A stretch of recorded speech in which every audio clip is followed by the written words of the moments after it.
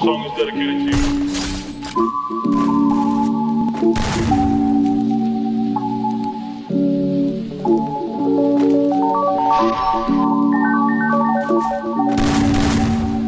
Look at.